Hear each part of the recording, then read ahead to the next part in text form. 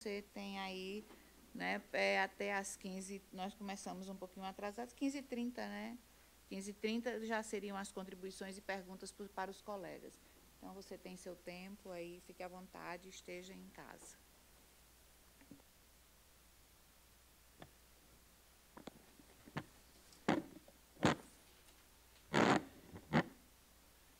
É, boa tarde é, a todos. Agradeço imensamente o convite.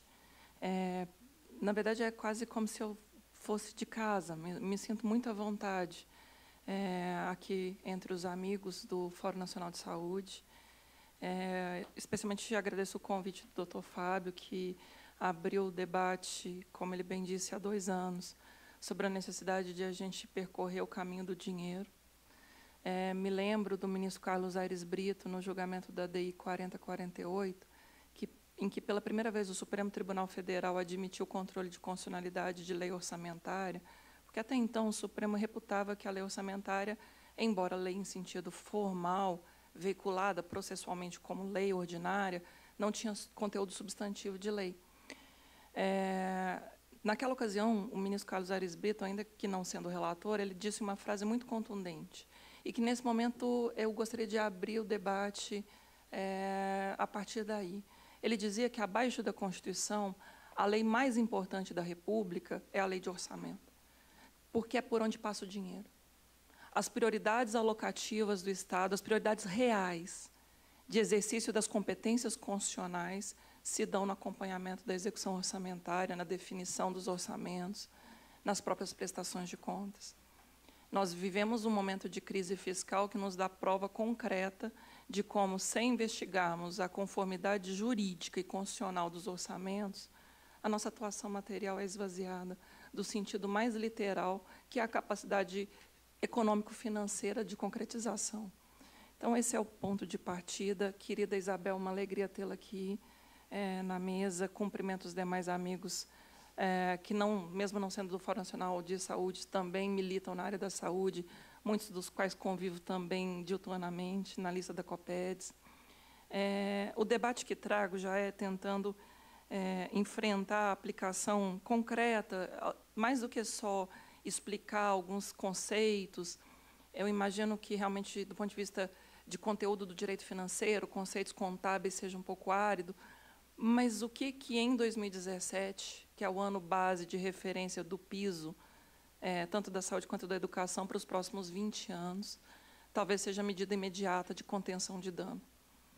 Eu vou repetir para que fique bem claro mais do que nós investigarmos é, uma formulação teórica sobre os conceitos da recomendação número 8, nós temos de nos imbuir de um senso de, um, de urgência a respeito da emenda 95, que estabelece 2017 como ano base do que for aplicado e que, a partir daí, só haverá correção pela inflação. A emenda 95, no artigo 110 do ADCT, restabelece em outro patamar a ideia do que é tido como progressividade no custeio da saúde. Não há mais chance de termos ganhos reais de aplicação em saúde. O gasto em valores nominais vai ter crescimento real zero. O gasto em saúde terá crescimento real zero, estagnado apenas pela correção monetária. A referência ao exercício de 2017. Então, é, interpretar a recomendação número 8, é, com todo o respeito à atuação dos colegas, de que eu não tenho devido conhecimento do ofício dos senhores, das senhoras, eu, eu, eu assumo a minha é, peculiar condição de oficiar dentro de um tribunal de contas, analisar contas rigorosamente todos os dias de municípios e do Estado de São Paulo. Mas acompanhar, por exemplo, o atendimento que os senhores e as senhoras fazem aos cidadãos, ao mesmo acompanhamento da gestão, eu, eu não tenho e assumo né, com humildade, a capacidade de entender a complexidade. Mas a aproximação de conhecimentos, de, de tarefas, de esforço conjunto se faz necessária exatamente nesse contexto, em que os municípios são sobrecarregados, em que alguns estados já se encontram em situação de recuperação fiscal, ou na iminência de celebrar esse acordo de recuperação fiscal, a exemplo do Rio, de Minas Gerais, do Rio Grande do Sul, e certamente muitos outros estados caminham para essa situação de falta de suficiência financeira para arcar com os compromissos. Mas neste ano, no cenário de urgência de uma execução orçamentária que finda 31 de dezembro. Porque o, o relógio não para e a execução orçamentária realmente corre muito rápido. Já em novembro, a gente já não tem muita margem de abrir é, empenhos, executar despesa para gerar capacidade de uma resposta de ela ser paga até normalmente dia 15 de dezembro, quando o exercício já está fechando propriamente dito. É disso que se trata. Um senso de urgência, um senso pragmático, um senso de leitura integrada do quadro fiscal para a gente tirar o direito fundamental à saúde dessa perspectiva um tanto saturada da judicialização individual por medicamentos, um tanto saturada é, numa guerra fiscal de despesa entre os entes, para a gente tentar propor uma macro-justiça. Uma macro-justiça que pense por que, que a pactuação federativa do SUS não funciona, por que, que a gente não consegue avançar no planejamento setorial né, da saúde. E aí, é, eu, eu, eu peço licença, antes da gente pautar as dúvidas sobre a recomendação. Desculpa, a voz às vezes vou tossir um pouco, que ainda está ruim, desde lá Fortaleza. É, eu, ao invés de pautar item por item da recomendação, eu preciso dar uma visão panorâmica. Eu preciso dar um macro, né, uma compreensão, para depois a gente poder retomar os aspectos.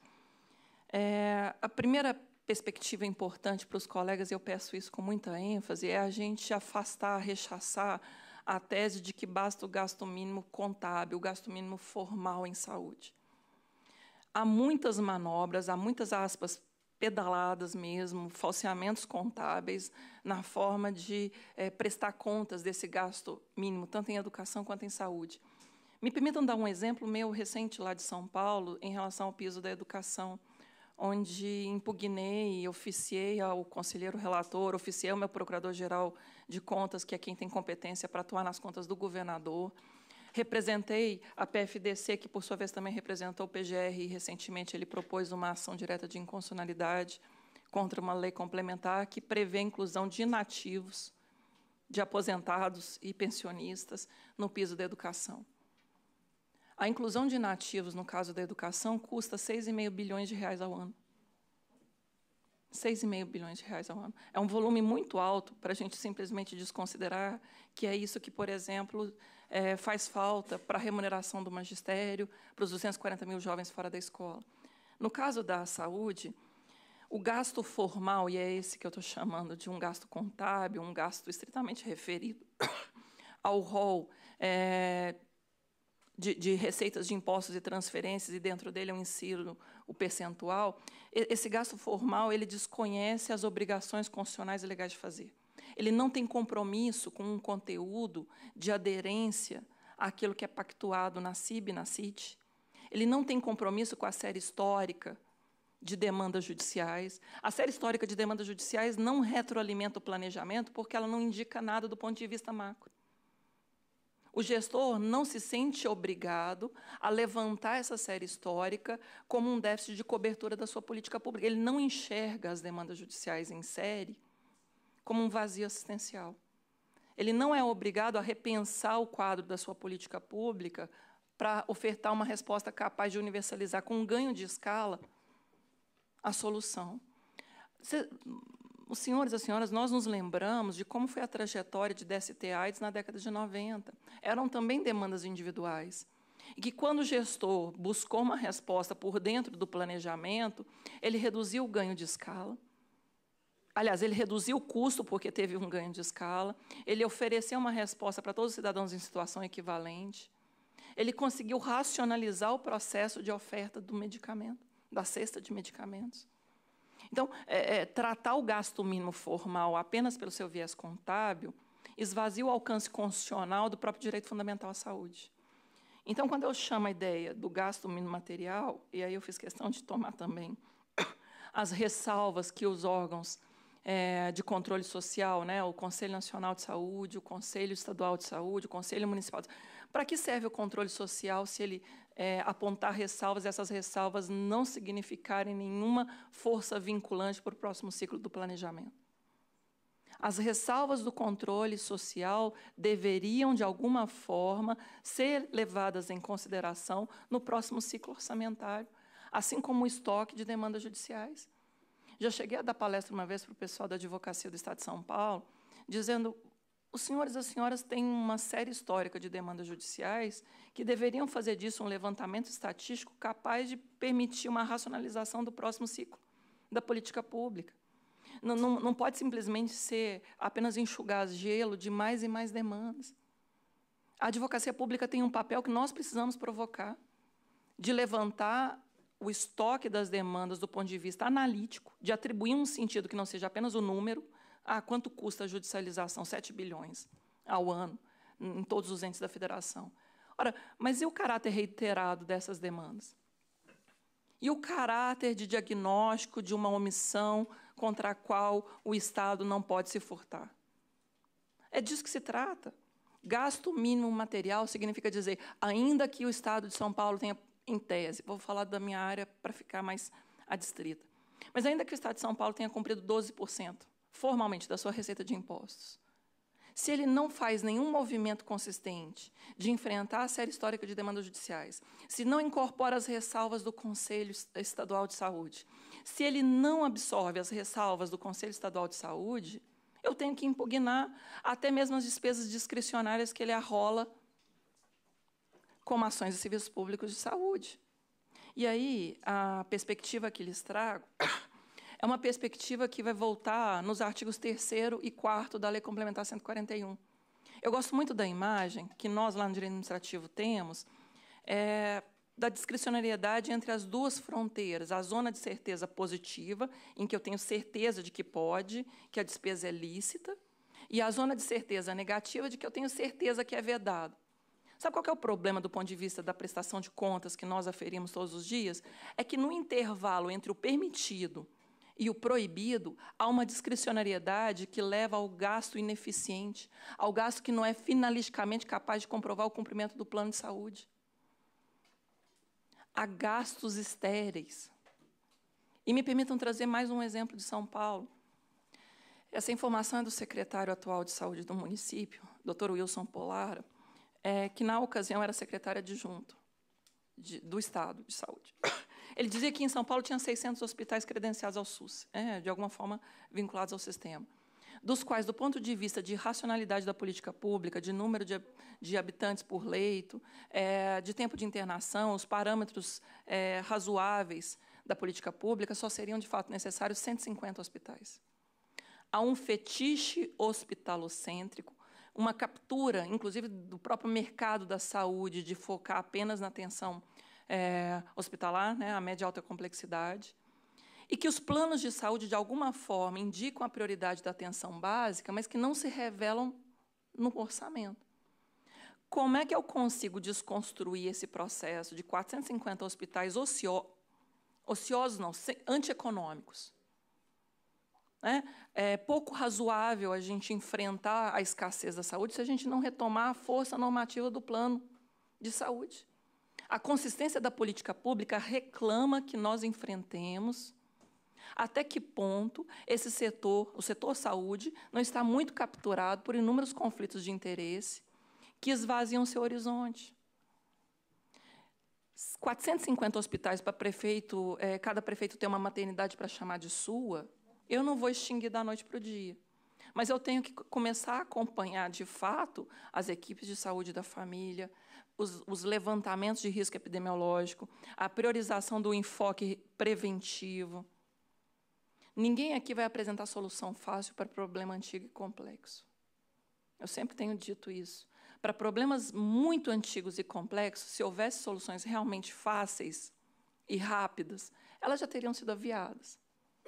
Mas não é porque o problema é antigo e complexo que eu vou deixar de enfrentá-lo. Ele continua a ser um problema. A gente reclama de mais dinheiro na saúde, mas concomitantemente é preciso mais gestão. Deixar uma prefeitura manter um hospital de pequeno porte é um dreno que não, que não mobiliza a sociedade em prol da qualidade do SUS.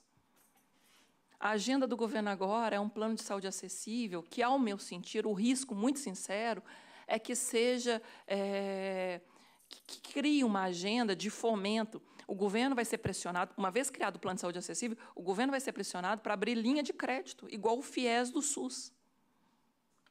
Plano de saúde acessível, uma vez criado, vai pressionar para uma linha de crédito análoga ao FIES. Porque, inclusive, despesas financeiras não estão submetidas ao teto. O FIES não está submetido à emenda 95. As despesas financeiras, elas podem trafegar por outra rota. Além das renúncias fiscais. Além das renúncias fiscais. Então, a iniquidade é, é, dessa concepção de um SUS pobre para pobres, e aqui cito a professora Leni Santos, querida Leni Santos, ela tem dito, esse momento que estamos a viver é um SUS pobre para pobres. Mas não adianta defender mais dinheiro sem concomitantemente mais gestão, porque vão nos rotular de ideológicos. Já é assim que o atual ministro da Saúde nos rotula. Por isso eu trago aqui, vejamos, me permitam só neste slide cuidar de cada um dos itens que anotei, porque é, enfrenta um pouco o panorama geral das nossas angústias. Eu acho que as angústias são comuns. As nossas angústias são mais ou menos repetidas, são mais ou menos equivalentes. A gente precisa conter esse retrocesso do piso dado pelo artigo 110 da DCT, tal como introduzido pela emenda 95. E reitero a preocupação: estamos em junho, caminhando para julho, sem que o Supremo Tribunal Federal aprecie o pedido de medida cautelar nas dezenas de adins contra a emenda 95 que lá tramita. E execução orçamentária, como eu disse, voa base de cálculo fixada. O orçamento do ano que vem já está definido, então, com menos dinheiro para a saúde. Significa que a população nascendo, a população envelhecendo, do ponto de vista de gasto per capita, vai ter menos dinheiro. Em 20 anos, o patamar do gasto social no Brasil e em saúde tanto quanto vai ser um patamar da África subsaariana. É a desconstrução fiscal da Constituição de 88. A gente ouve falar que a Constituição tem que caber no orçamento. Eu retruco. O orçamento só é legítimo à luz da Constituição. Por que o governo arrecada contribuições sociais? Essa espécie tributária que só é legítima na medida da sua vinculação para a Seguridade Social. Mas que, não obstante, 30% do arrecadado é predestinado, é desvinculado. Esse é o debate, esse é o debate que ainda não tivemos a ousadia suficiente de questionar, porque o Supremo só foi provocado a falar da DRU da desvinculação de receitas da União, do ponto de vista da repetição de indébito na esfera tributária. Bom, essa é um, uma, uma perspectiva. Eu cheguei a, a, falar com os colegas da MPF a respeito dos riscos do decreto de programação financeira. Eu queria pedir aos colegas, ainda que no início seja difícil, mas é, provoquem, junto com os colegas da MP de Contas, a reflexão sobre o decreto de programação financeira nos estados dos senhores e das senhoras. A programação financeira é aquela que divide como o dinheiro vai ser repassado todos os meses.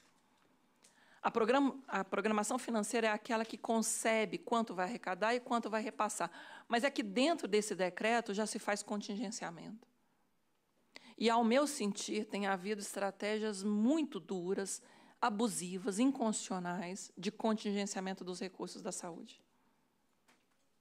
Eu tenho dito que a gente precisa tratar o dinheiro da saúde, os duodécimos da saúde, com a mesma inteireza que a gente trata o duodécimo do próprio MP, o duodécimo do judiciário, o duodécimo do legislativo. Não adianta achar que a prioridade de uma despesa é dada só pelo volume global. Eu vou lhes dar um outro dado. Não adianta ter o dinheiro na dotação orçamentária se eu não tenho a liberação tempestiva dele mês a mês. O tempo da despesa é tão importante quanto o volume do gasto. O tempo da execução orçamentária é tão importante quanto o volume do gasto. A gente precisa enfrentar os atrasos dos repasses com a mesma perspectiva que, inclusive, a LDB previu para a educação. E se não tem jurisprudência ainda sobre os repasses até o quinto dia útil, até o décimo dia útil, a gente tem que fazer a provocação judicial para criar esse contraditório. O Estado do Rio de Janeiro está cumprindo 3%, quando a Constituição manda aplicar 12%. Minas Gerais mesmo está tendo problemas seríssimos dos repasses. O que há de mais prioritário do que a saúde da população? E se a gente começar a tratar essa questão da tempestividade do repasse à luz da própria regra do artigo 37, parágrafo 6 da Constituição? responsabilidade objetiva do Estado. Risco de genocídio em algumas realidades do SUS é risco de genocídio. Não tanto em São Paulo, porque a crise fiscal não está tão severa, mas, em alguma medida, alguns estados estão colapsando. Não adianta só ter a garantia formal do dinheiro, o dinheiro tem que chegar a tempo e a contento. E aí eu entro. Como fica, como fica o controle dos déficits de aplicação em saúde? Nós aceitamos de forma muito passiva que o governo federal não quer uma intervenção federal porque isso travaria o debate de PECs. O Rio de Janeiro não aplicou o mínimo de saúde. O Tribunal de Contas do Rio de Janeiro apontou que é por causa do piso da saúde, que inclusive emitiu parecer desfavorável, dentre outras questões. Outros estados também estão com déficit em saúde. O artigo 160 da Constituição, parágrafo único, inciso 2, fala que cabe até a retenção do FPE, que cabe a suspensão das transferências voluntárias lá no artigo 25 da LRF. A responsabilidade pessoal do gestor é importante também, mas não só isso. Agora, a gente tem que multiplicar o bombardeio em relação a isso. Por isso, eu cheguei a provocar recentemente, desculpe, é nesse ponto. Nesse último item ainda do subfinanciamento, eu, eu tenho pensado, é claro, né, meu conhecimento de processo civil é muito pequeno. Eu, eu realmente priorizei mais meu foco no direito financeiro, no direito constitucional. Mas retomando um debate da Lei 8987, a Lei Geral dos Serviços Públicos, ainda que saúde não seja serviço público em sentido estrito, ainda que saúde seja, na verdade, serviço público em sentido lato, é um serviço essencial, nós todos sabemos. A gente invocar a Lei 8987, quando fala da encampação do objeto, no caso de um prestador de serviço, concessionário de serviço público, permissionário de serviço público não executar contento objeto, o poder concedente encampa objeto para assegurar a sua continuidade. A gente tem que tentar invocar esse debate, porque a intervenção federal não haverá sobre o Rio, não haverá sobre Minas, não haverá sobre o Rio Grande do Sul. Mas, já que a responsabilidade é solidária e os municípios executam o serviço e a União deveria fazer o aporte financeiro necessário, especialmente nos casos, esses três estados sujeitos já ao regime de recuperação fiscal da Lei Complementar 159 de 2017, a gente ingressar com uma medida na Justiça Federal conjuntamente. Eu tenho já preparado, tanto quanto possível, os argumentos do direito financeiro, me prontifico a trabalhar com todos os colegas que quiserem, no convencimento também dos colegas do MPF, para a gente entrar com a demanda da encampação do objeto, porque a rede está colapsando. Eu não preciso falar do caos no Rio, porque certamente os senhores e as senhoras estão vivendo o caos à porta dos estados de vocês, né, dos estados de todos nós. Mas começar pelo Rio, por Minas e pelo Rio Grande do Sul, que já sujeitos à recuperação fiscal da Lei Complementar 159, abre precedente para os demais depois provocarem a necessidade de a União absorver aquilo e cobrar, se for necessário, em direito de regresso, o que pagou a mais depois. A União já não absorve a dívida dos Estados? A ideia de que a União renegociou dívida e quando os Estados não pagam a dívida, a União não faz a retenção do FPE? A gente tem que começar a tratar os dois incisos do artigo 160, parágrafo único, em condição de igualdade. Para quem não se lembra, o 160, parágrafo único fala: só será admitida a retenção do fundo de participação dos Estados. Inciso 1. Em caso de o Estado não pagar a dívida com a União inclusive dívida previdenciária com o INSS, faz retenção do FPE. O inciso 2, não cumprimento do piso da saúde. Tem a mesma, a mesma topografia constitucional, tem a mesma consistência de proteção, a mesma rigidez. Agora, por que, que eu consigo fazer a retenção do FPE para proteger a dívida que o ente subnacional tem com a União? Eu jamais consegui um algo análogo com essa mesma clareza em relação à proteção do SUS. A gente precisa criar precedentes ao nosso favor. A gente precisa fazer uma outra rota de judicialização da saúde que coobrigue a União ao custeio adequado. Não adianta saturar mais os municípios. Os municípios aportam ao sistema, mais de 20% em média. Roberto está aqui, sabe, lá em São Paulo eu fiz um levantamento é, dos 644 municípios que o TCE avalia, 510 aplicam mais de 20% e 70 aplicam mais de 30%. E tem uns quatro, quatro, cinco municípios que aplicam mais de 40% da sua receita de impostos. Vocês imaginam o que é um município verter só para a saúde 40% de tudo que arrecada? Como fica a mobilidade urbana, como fica resíduos sólidos, como fica o restante das políticas públicas? Não fica. É uma irresponsabilidade com o restante das obrigações constitucionais do município. A força vinculante da pactuação na CIB e na CIT é outro aspecto que peço muita atenção. O artigo 17 da Lei Complementar 141, ele regulamenta o artigo 198, parágrafo 3 inciso 2 da Constituição, que é o rateio, que era para ser o COAP. Só que a gente aceita que o COAP não saia do papel e fique por isso mesmo. A gente aceita que a Lei Complementar 141 disponha sobre rateio, mas que a União não consolide as suas milhares de portarias que, na verdade, fomentam, de um lado, uma discricionariedade abusiva do Ministério e, do outro lado, uma mendicância política dos entes subnacionais para a liberação desses recursos. Eu me lembro que os municípios chegaram a ameaçar greve pelo atraso nos repasses tanto na atenção básica, no MAC, também na área da educação, dinheiro direto na escola, alimentação escolar, PENAI, PENAT. O que isso quer dizer? Se é pactuado, pacta sunt servanda. Se tem assento constitucional, e esse é o 198, parágrafo 3 inciso 2, tem que ter força para obrigar a União a estabelecer essa pactuação em moldes não só de um regramento de responsabilidades materiais, mas também de recursos correspondentes. Não adianta implantar um incentivo e não atualizá-lo tempestivamente, do ponto de vista de correção monetária. A pactuação na CIB na CIT é a governança federativa do SUS. Eu peço aos colegas que nós tenhamos a coragem de buscar no acórdão 2888 de 2015 do TCU.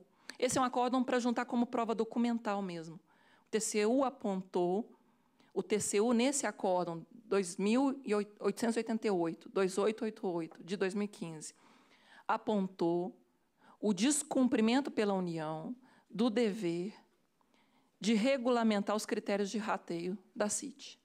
E deu prazo de 90 dias. É de 2015 até hoje não regulamentou. A ideia do SUS legal, em tese, é suprir essa mora, essa omissão. Mas se o TCU deu prazo em 2015 e não cumpriu de lá para cá, por que não entrar com uma ação de, de ressarcimento desse período para trás? Por que, que os entes não sabem exatamente o quanto tem direito de receber num volume global e que depois possa ser demandado dentro da perspectiva do que é pactuado, quanto de rateio correspondente, aquilo que eles estão arcando que é a obrigação da União. Vejam, o debate sobre agora a, a, a, os recursos repetitivos na STJ da, da judicialização de medicamentos. Se são medicamentos não incorporados na Rename, não tem rateio prévio. Escrevi com a professora Lenia Santos e um colega da Federal é, de Ouro Preto, lá em Minas, professor de processo civil, que, ao nosso sentir, depois disponibilizo o artigo para todo mundo, mas, ao nosso sentir, a competência é da Justiça Federal na ausência de rateio prévio, na ausência, inclusive, de registro pela Anvisa, na, ausência de incorporação na Conitec, a resposta adequada é na Justiça Federal. Até para obrigar que o controle judicial retroalimente o planejamento, até para obrigar que haja uma solução com ganho de escala, uma solução universalizante. Não adianta manter na Justiça Estadual a título de responsabilidade solidária se essa responsabilidade solidária só foca o município e, eventualmente, os estados. Ou a solidariedade é via de mão dupla, ou ela não se aplica. Quem mais arrecada? Quem tem mais capacidade de, de fato, suportar, até mesmo naquele binômio típico de prestações alimentícias, possibilidade e necessidade? Quem tem mais capacidade financeira de suportar a perspectiva do direito subjetivo público à saúde no viés, no viés das garantias objetivas da sua procedimentalidade, que esse direito seja de fato exigível. Porque sem o SUS, de fato, estruturado, conforme o pactuado na CIT e na CIB, E sem financiamento adequado, o direito fundamental à saúde, ele na verdade só é exigível em demandas muito tópicas e tendentes à iniquidade. Direito subjetivo público sem essa dimensão objetiva não se realiza. Não adianta a perspectiva do cidadão exigir na, na justiça se o Estado não for, do outro lado, obrigado a promovê-la. O professor Ingo Salles fala disso. A doutrina nos fala disso. A outra dimensão que queria lhes trazer, já falei do lado da gestão, a tempestividade dos duodécimos, a responsabilidade pela gestão dos recursos e a disponibilidade financeira real no fundo de saúde. Olha, teríamos é, uma evolução copernicana, na verdade, uma revolução, se o dinheiro da saúde de fato fosse gerido pelo secretário da saúde e ficasse no fundo de saúde de forma tempestiva. É, é revolucionário esse básico. É incrível como a gente fala de coisas óbvias, mas o óbvio não é fácil. Quem senta em cima do dinheiro da saúde é o secretário de Fazenda. Faz caixa com o dinheiro da saúde. E mais, e mais. Tanto, é, é só porque eu, aqui vai apagando a tela para mim. Tanto o secretário da Fazenda faz caixa, que lá no Rio, a Denise, a colega Denise Vidal do Rio, ela diz, Elida, o dinheiro é da fonte vinculada da saúde, está indo fundo a fundo, mas cai no caixão único do tesouro e está sendo arrestado toda hora para pagar coisas as mais diversas possíveis. E me assusta que eles tenham conseguido a decisão de primeira instância, mas o TJ tenha usado um argumento, o TJ do Rio, o argumento de um parágrafo para dizer que o dinheiro da saúde não tem que ficar no fundo de saúde. É dramático imaginar que o duodécimo do TJ continua lá religiosamente em dia e a população simplesmente morrendo por falta de atendimento. Médicos, equipes profissionais de saúde, há três meses sem salário. Sem falar no 10 terceiro, sem salário. Sabe o que é isso? Endividamento estatal às custas do servidor. O esta... quem, quem é o banco do Estado de Rio de Janeiro hoje? O servidor e os fornecedores. Porque o endividamento não se faz apenas direto numa instituição financeira eu atrasar os fornecedores, eu atrasar o salário dos servidores, isso é uma operação de crédito. Então a gente precisa enfrentar o fundo de saúde e a gestão exclusiva pelo secretário de saúde não como algo acessório. É um algo nuclear. O dinheiro da saúde tem que ser gerido pela área da saúde. Pode parecer pouco, mas é um passo gigantesco se a gente avançar. A gente colocou num dos considerandos certamente os senhores e as senhoras leram, é, um dos nossos considerandos é sustentar a tese de que, porque a própria Constituição prevê o piso da saúde, é uma derrogação à sistemática de caixa único. A metodologia de prestação de contas da saúde, inclusive, fomenta a existência do fundo de saúde. É norma constitucional de mesma estatura quem diz que caixa único, caixa único é para arrecadar. Eu tenho dito isso para os colegas, inclusive do TCU. A gente tem que começar a criar conceitos sólidos do ponto de vista do direito, para não nos darmos por rendidos pelo argumento contábil. O contador não sabe de direito. Quando eles dizem que tem que ser caixa único, nós temos que confrontá-lo. Temos que dar uma interpretação constitucionalmente adequada. Caixa único do ponto de vista de uma sistemática é, de, de, controle, é para a receita. Caixa único é, sobretudo, a metodologia para evitar desvios na gestão das receitas. Mas, uma vez identificada a dotação da saúde, a liberação mês a mês do fluxo dos recursos, e mesmo para fins de comprovação do piso, quando fica o restos a pagar, processado e não processado, mas, sobretudo, não processado, o dinheiro que vai garantir os restos a pagar não processados tem que ficar depositado no fundo. Mas o governo só deixa depositado no Réveillon. No dia 2 de janeiro, o dinheiro do Fundo de Saúde já volta para a conta única do Tesouro, ou para a conta única é, de cada, do Tesouro Nacional ou do Tesouro dos entes subnacionais. A gente tem que ter coragem de formular conceitos a respeito disso. Ou o dinheiro fica no fundo de saúde, até para a gente começar a rastrear a movimentação na conta. Como é que os senhores e as senhoras rastreiam a movimentação na conta se não está no fundo de saúde? A Denise mesmo me dizia, eu não consigo rastrear o dinheiro, porque está na conta única do Tesouro. A rastreabilidade, a prestação de contas específica fica prejudicada. É, fica totalmente prejudicado, Bisol, você tem toda a razão. E vejam, essa responsabilidade do próprio gestor da saúde está na Lei Complementar 141 e a gente extrai isso desde a Lei 8080. É pressuposto de consistência do SUS. É pressuposto de autonomia do sistema. Aí eu entro também na questão do quadro de pessoal. É, é um problema a gente dizer hoje que tem que terceirizar para fugir do limite de despesa de pessoal da LRF. O argumento do gestor é: não tenho mais margem fiscal para fazer concurso para admitir pessoal. Eu lhes contraponho. Há um inchaço da folha, inclusive de gente que não trabalha na ponta, que a gente não consegue de fato racionalizar e mensurar quem de fato está ali executando o serviço. Antes de propor um teto fiscal, como esse da emenda 95, a gente tinha que, por exemplo, colocar a pleno vapor todas as, as, as, estratégias já previstas no ordenamento de contenção de gastos. Eu cheguei uma vez a escrever um artigo, a pedido da doutora Milene de Tocantins, juíza também na área da saúde combativa, ela dizia, Elida, eu preciso de um jeito de saber de onde tirar dinheiro para a área da saúde. É, posso tirar da publicidade? Não. Eu falei, vamos fazer uma fundamentação mais elaborada. E dei sugestão de como a gente fazer uma amarração junto com a lei eleitoral.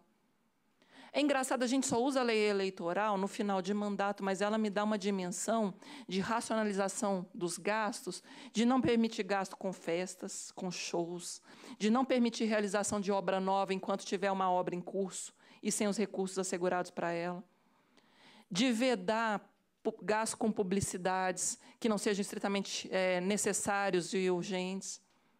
Por que não invocar as regras típicas do final de mandato em caso de contingenciamento tão severo, de contenção de despesa tão severo, que coloque em risco os próprios pisos da saúde e da educação? De não fazer mais renúncia fiscal. O Rio de Janeiro, mesmo depois do decreto de emergência fiscal, aquele caos que eles é, decretaram, continuou dando renúncia fiscal até para joalheria, até para casa de prostituição. O colega, o colega de patrimônio público do MP do Rio, Vinícius Cavaleiro, disse que chegou a dar renúncia fiscal para casa de prostituição, logo depois do decreto de emergência financeira. A gente precisa criar precedentes. O MP precisa propor ações estruturantes. Se não está tendo dinheiro para pagar salário, se não está tendo dinheiro para manter o SUS, Pode contratar obra nova? Pode continuar gerando despesa de publicidade que não seja estritamente emergencial? Pode pagar shows? Pode conceder renúncias fiscais? A gente tem que firmar o regime jurídico da crise fiscal.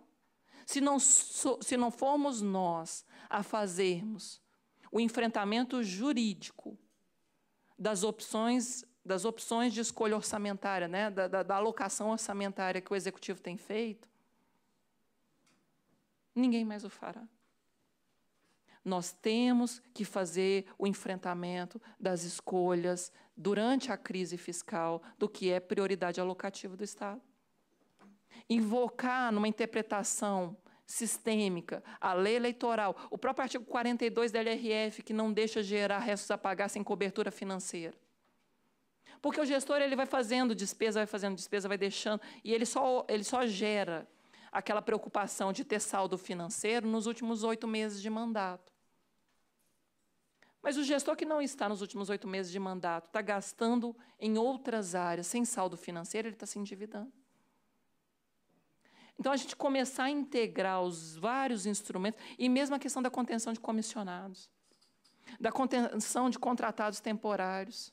O artigo 69 da Constituição está lá e a gente não executa. Está faltando dinheiro da saúde, mas a gente não aponta de onde tirar o dinheiro das outras áreas equivocadamente aplicadas.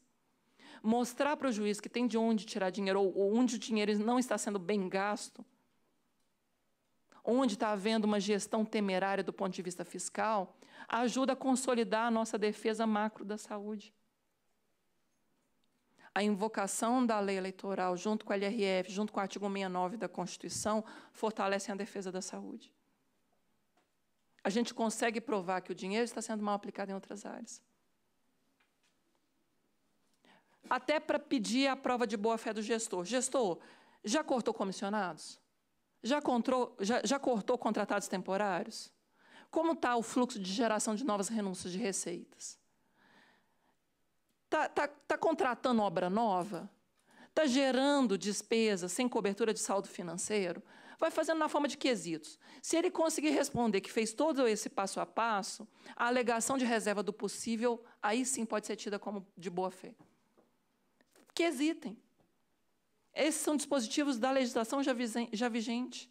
A argumentação de que é reserva do possível, de que não tem dinheiro, não sobrevive se a gente quesitar esses oito, não mais do que dez itens. Numa crise fiscal dessa, está fazendo festa de, de festa junina, está pagando banda artística, está gastando com publicidade, está contratando obra nova, porque contratar obra nova é despesa de capital e ele tem a obrigação de primeiro tentar manter o que já está lá, despesa corrente. É, é essa dimensão importante de contraste, de prova de boa-fé objetiva, que nós, que o Ministério Público tem total capacidade de fazer e até alargar a capacidade dos juízes entenderem o orçamento. É uma pena como nós ainda não conseguimos debater com juízes orçamento. A resistência quando entra a alegação de matéria orçamentária do juiz em conceder uma tutela coletiva é muito grande. É muito fácil dar uma demanda individual, mas quando entra o debate de tutela coletiva, aí parece que pesa o custo orçamentário. Tem que fazer, tem que fazer a contraprova. Tem que devolver. Me permitam, inclusive, invocar. Eu, eu queria pedir para é, os senhores e as senhoras usarem com ousadia, sem vergonha mesmo, com vontade de executar o direito em sua integridade Usem o artigo 93 do Decreto-Lei 200, junto com o artigo 70 da Constituição, no sentido de devolver o ônus da prova para o gestor. O artigo 93 do Decreto-Lei 200 fala que cabe ao gestor público provar o regular emprego dos recursos públicos. E não há presunção de legalidade, de legitimidade, é invertido o ônus da prova. Não há presunção de legalidade e legitimidade do ato de execução da despesa, pelo contrário. O gestor tem de provar o regular emprego dos recursos públicos. A gente tem que inverter o ônus da prova. A alegação de reserva do possível não se sustenta se ele não esgotar essa quesitação. Cortou comissionados? Cortou contratados temporários? Cortou despesas de publicidade que não sejam estritamente essenciais? A integração do ordenamento tal como ele já existe. Continuou concedendo renúncia fiscal ao arrepio do artigo 14, ao arrepio do CONFAS, porque o que mais tem é, é, é incentivo fiscal ao arrepio até do próprio CONFAS. Sem medida compensatória lá, como a LRF exige, sem todo aquele arranjo protetivo. Outra coisa, lá no Rio, é porque eu acabei trabalhando muito de perto com os colegas do Rio, eu fui lá o ano passado umas cinco, seis vezes. O Rio é a Grécia fiscal brasileira. Para quem quiser implementar a tese de controle judicial de orçamento, realmente o, Rio, infelizmente, é o, é o, pior e o melhor lugar. O pior, porque, inclusive, já está tudo ruindo. Do ponto de vista da política educacional, eu fui lá antes de ontem, a colega dizia, Elida, o secretário municipal de educação não consegue dar nenhum passo além do problema de tiroteio na vizinhança da escola. Ele não consegue fazer outra coisa a não ser enfrentar o estado de sítio que a população vive. Porque não tem política de segurança. Ele não consegue fazer política educacional porque não tem política de segurança. Bom, lá no Rio de Janeiro, a gente conseguiu fazer um debate muito interessante, que é exatamente dentro dessa perspectiva de como convencer os juízes a dar uma interpretação sistêmica do ordenamento. Então, os precedentes que eu vou trazer ao final são precedentes do Rio, que a gente também pode juntar para tentar sensibilizar os juízes dos outros estados precedentes em relação ao duodécimo, precedentes em relação à gestão do fundo, ainda que o tribunal depois, infelizmente, é, casse a liminar. Na primeira instância, as colegas conseguiram, inclusive de não contingenciamento. O colega do Rio, na área de patrimônio, conseguiu uma liminar proibindo a concessão de novas renúncias fiscais, algumas das quais concedidas por prazo indeterminado. Vocês imaginem, me permitam só abrir um parênteses sobre renúncia fiscal, porque isso é importante possível um contrato administrativo que gera despesa ter duração indeterminada? Não. A Lei 8666 veda. É proibido contrato com prazo indeterminado. O máximo que a gente tem é um contrato de cinco anos, prorrogável mais uma vez por 12 meses. Então, no máximo, na regra geral da Lei 8666, a geração de despesa pela via contratual, seis anos, na regra geral. Aí tem a lei da PPP, tem, tem outras, mas na regra geral, seis anos. É proibido o contrato por prazo indeterminado. Mas o que a renúncia de receita é? Gasto tributário. E sabe qual é o problema? É gerada a renúncia de receita sem prazo para acabar, usando um argumento lá da introdução ao Código Civil, né, da, da Lei de Introdução ao Estudo de Direito agora, de que se não houver uma outra lei que revogue, continua a vigorar. A renúncia fiscal, tratada como algo que dura enquanto não houver a sua revogação, gera, gera um privilégio orçamentário que nós ainda não tivemos a ousadia e a coragem de enfrentar. Renúncia fiscal concedida para sempre, porque renúncia é sempre tratamento discriminatório. Não é reduzir a, a tabela do imposto de renda para todos os, os cidadãos. Renúncia fiscal é você privilegiar o Gilmar em detrimento de todos nós. Nada contra você, meu amigo. Assim, é só um exemplo. Tratamento discriminatório. Linha branca de IPI. Você cria aquele benefício. Gente, conceder isso para todos sempre significa literalmente gerar um gasto.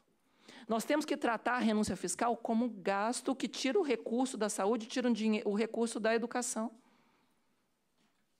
Não adianta propor tutela coletiva da saúde se a gente não enfrentar a renúncia de receita. Se a gente não enfrentar os outros quesitos de desvio, de, de dreno do dinheiro público. Até para o juiz ter boa fé, aliás, ter paciência de nos ouvir quando ele, ele ouve o argumento do lado de lá de reserva do possível, de crise econômica, de queda de arrecadação. Os senhores e as senhoras certamente estão vendo juízes descrentes. Juízes que não acreditam ser possível dar uma resposta nesse momento. Negando jurisdição na tutela coletiva. Me permitam falar isso, mas é negar jurisdição na tutela coletiva. Qualquer motivo processual besta aparece para não enfrentar o mérito a gente precisa fazer uma fundamentação de que tem de onde tirar o dinheiro, que o dinheiro é mal alocado, que há muita iniquidade na aplicação do recurso. O quadro de pessoal, então, tem que tentar tematizar o desafio que é reduzir esse inchaço da folha, porque há um inchaço da folha. Controlar a terceirização desenfreada, a quarteirização desenfreada, porque, vejam, cada pessoa jurídica agregada nessa, nessa nessa sequência de prestador, né, de, de, execução do objeto. Imagina, cada intermediário que eu coloco na, no, na prestação do serviço da saúde, no mínimo 10, 20% de custo adicional. Vamos pensar racionalmente. Eu sou gestor de uma empresa. Terceirizei. A menos que a terceirizada, de fato, pague muito mais barato pelo quadro de pessoal, eu estou agregando custo de 10% a 20% adicional só para ter aquela pessoa jurídica gerindo para mim aquilo que eu não estou conseguindo fazer sozinha.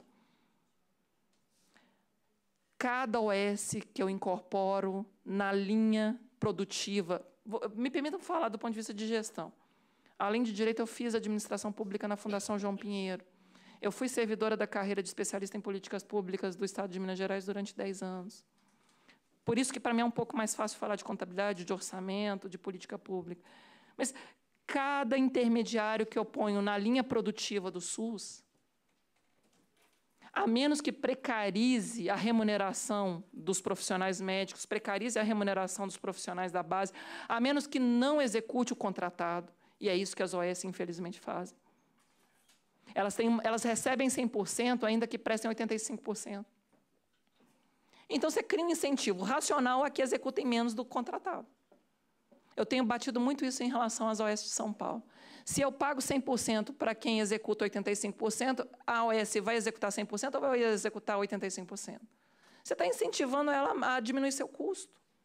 Pagamento por estimativa é um incentivo racional a não prestar o serviço.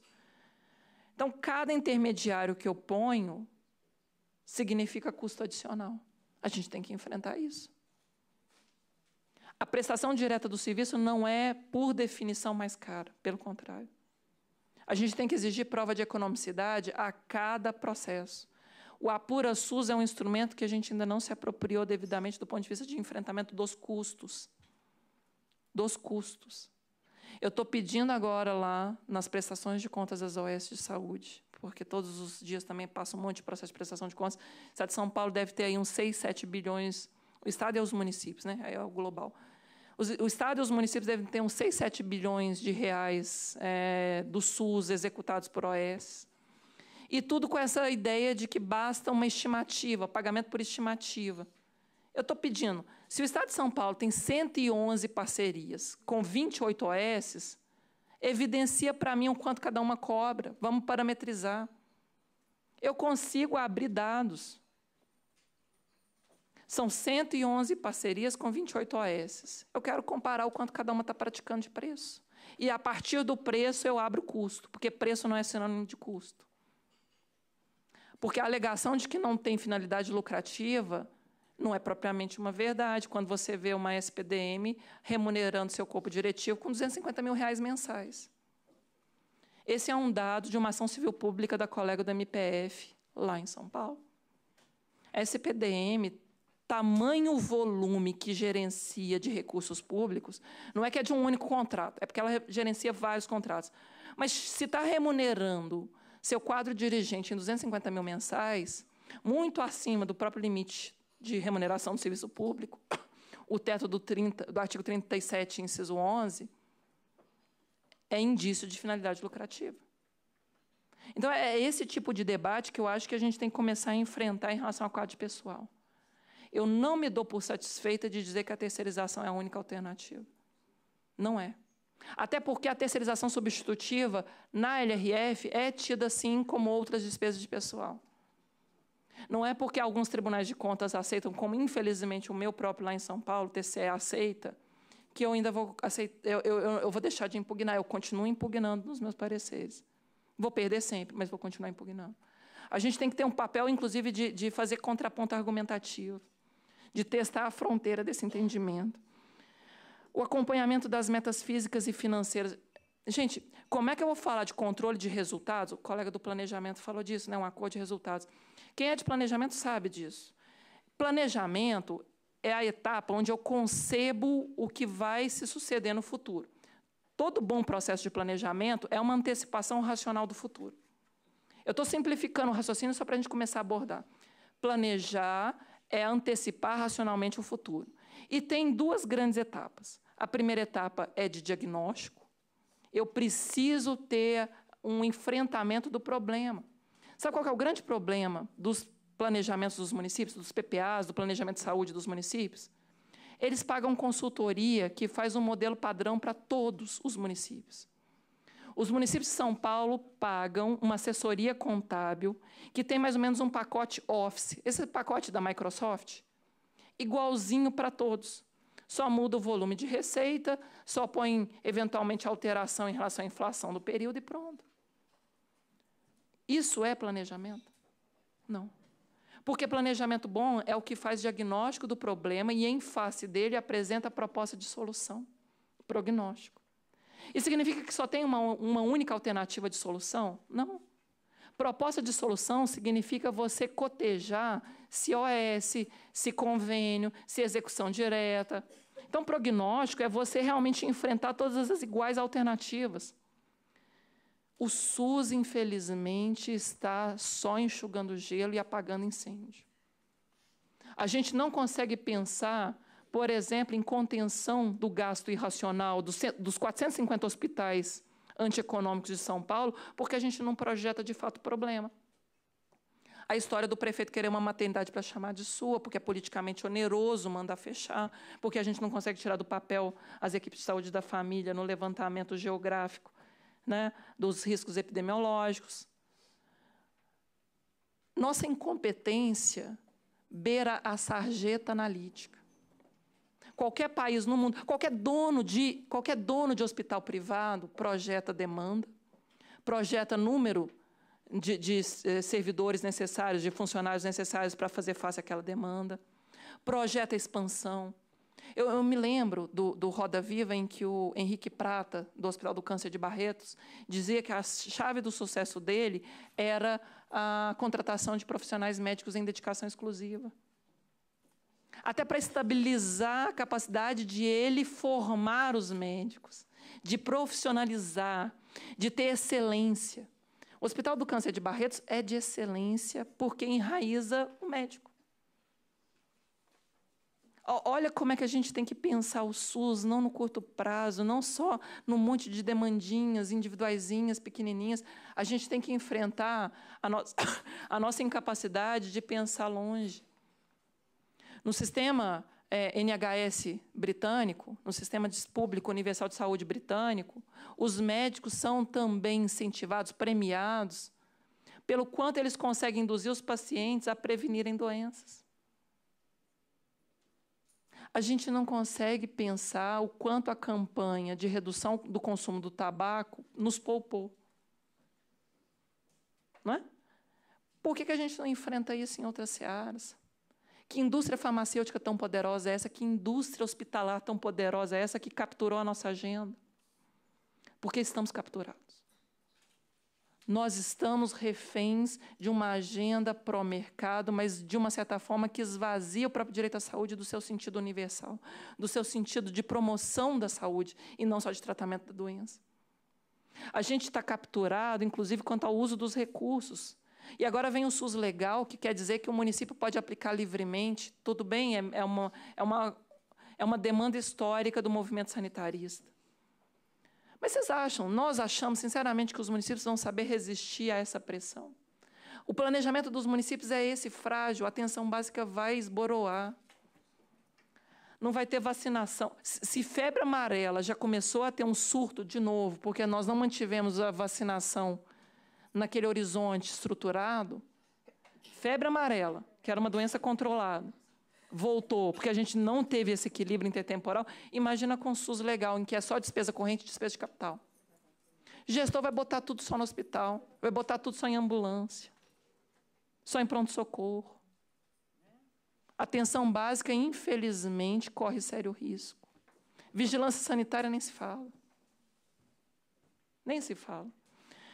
Desculpem, eu estou sendo muito enfática, eu sei que o tempo está tá correndo, mas a gente também precisa levar a sério o aperfeiçoamento do CIOPS. Sistema de informação.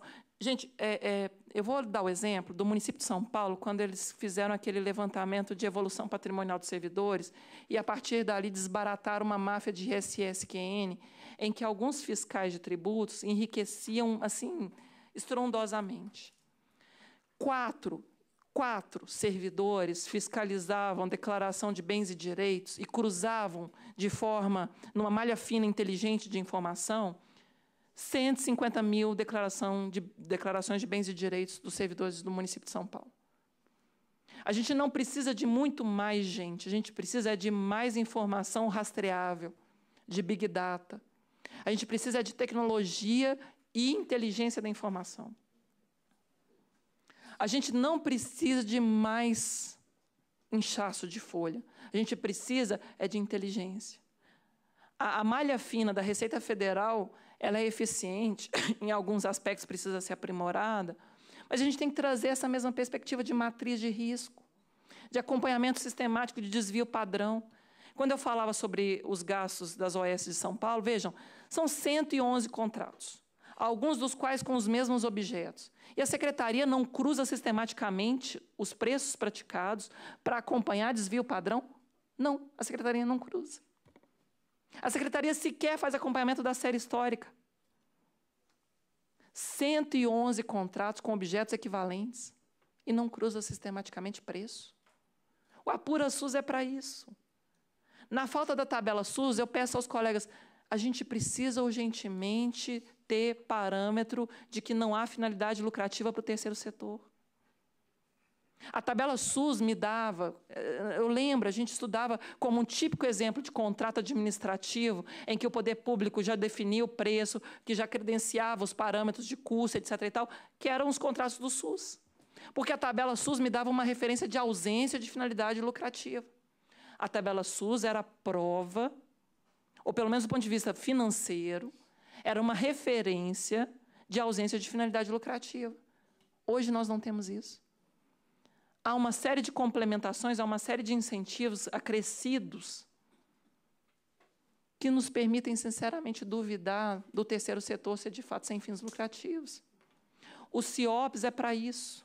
O CIOPS é para a gente começar a sistematizar e acompanhar. O Apura SUS, mesma coisa. Eu não tenho mais, eu não tenho mais como afirmar que os contratos, contratos de gestão, convênios, o nome é, é, é, é menos importante do que o conteúdo. Quaisquer vínculos celebrados no âmbito do SUS, de fato, sejam sem fins lucrativos. Eu, eu, eu queria só falar uma questão que eu tenho sentido, é sentimento.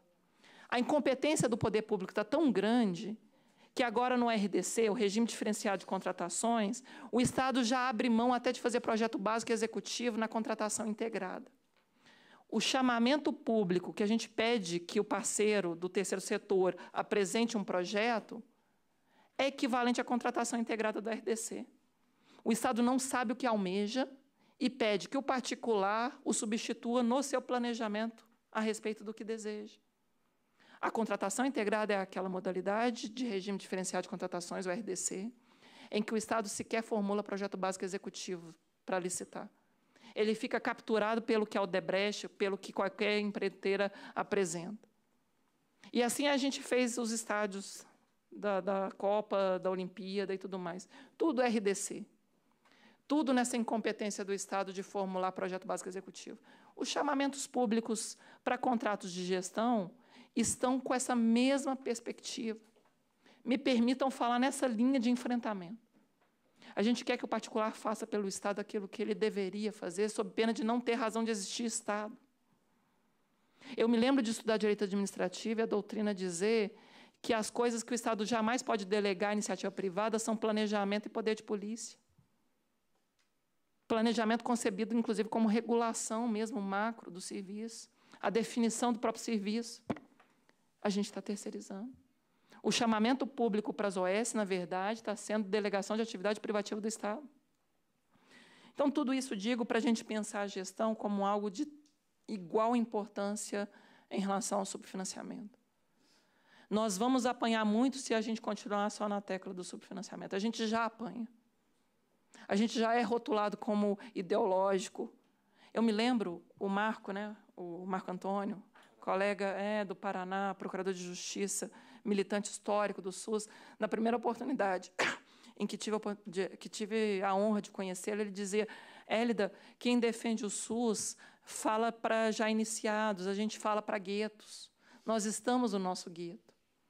Como é que a gente tira o SUS dessa, dessa sensação difícil de que a gente não avança no senso comum para conquistar todas as mentes dos cidadãos? A Cláudia Colucci, uma jornalista fantástica da Folha que escreve sobre saúde, chegou uma vez a escrever: defender o SUS é deixar de ser trouxa. Não é ideologia. Só que as pessoas não pensam assim e a gente tem que começar então a enfrentar o problema numa dimensão de resistência no curto prazo, de contenção de dano no curto prazo, mas de pautar a agenda de outra forma. Não ba a melhor defesa é o ataque. A melhor defesa é o ataque. Não basta resistir, a gente já tem que fazer o contra-argumento. Temos que ser os primeiros a falar da melhoria do SUS. Porque senão esse senhor ministro da Saúde, esse senhor Ricardo de Barros, ele vai falar de uma outra gestão, que é a gestão privada. Ele não vai falar da gestão universal, da gestão que atende pela integralidade. Se não formos nós a pautar numa judicialização estruturante, e temos que ter coragem de fazer judicialização estruturante, que subfinanciamento e gestão são os caminhos, esse senhor ministro vai atravessar o FIES do SUS. É questão de mais alguns meses. Inclusive, a questão dos planos de saúde acessíveis já está sendo debatida aí. A comissão que já foi convocada agora. É, só tem, não tem ninguém da área do setor público ali. A única pessoa que eu tenho contato que está participando ativamente é a, Sandra, a doutora Sandra, Sandra Krieger, da UAB. Né? E, mesmo assim, a defesa que ela consegue fazer é uma defesa pequena. Nós não estamos participando desse debate. A Ampasa não está participando. É uma pena. A gente não consegue pautar a agenda da política pública de saúde. É, é um problema danado isso. Bom, aqui está. Eu gostei muito é, da manifestação do, do Procurador-Geral da República, é, na é, 5595, sobre o retrocesso no SUS, é, porque é um pouco do que a gente precisa, é, talvez, ter mais coragem de afirmar. O nome da rosa tem que ser dito. Vou parafrasear Humberto Eco. Se nós não dermos nome ao problema, ele não será concebido globalmente como um problema. A gente tem que ocupar o espaço de um estado de coisas inconstitucional no SUS. A gente tem que dar nome a essa rosa. Há décadas, há décadas, o Pacto Federativo do SUS na CIT, na CIB não funciona. Há décadas os municípios estão sendo saturados.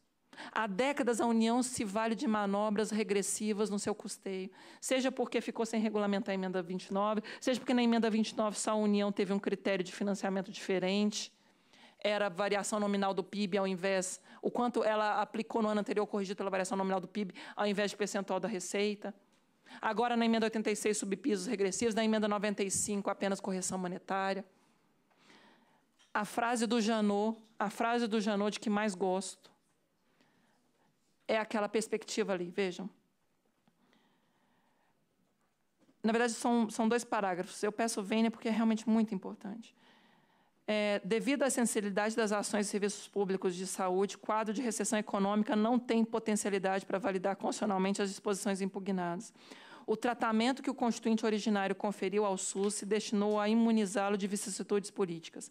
Para tanto, alçou a saúde a categoria de direito fundamental e nesse trecho eu chamo especial atenção. É nesse trecho que eu peço toda atenção. E montou o arcabouço necessário para sustentá-lo, por meio de financiamento público do SUS. Tanto o SUS quanto o financiamento são remédios constitucionais que amparam o direito fundamental à saúde. São cláusulas pétreas na mesma, da mesma estatura que o habeas corpus. O SUS como um arranjo orgânico e o gasto mínimo como um, uma estrutura de financiamento obrigatório.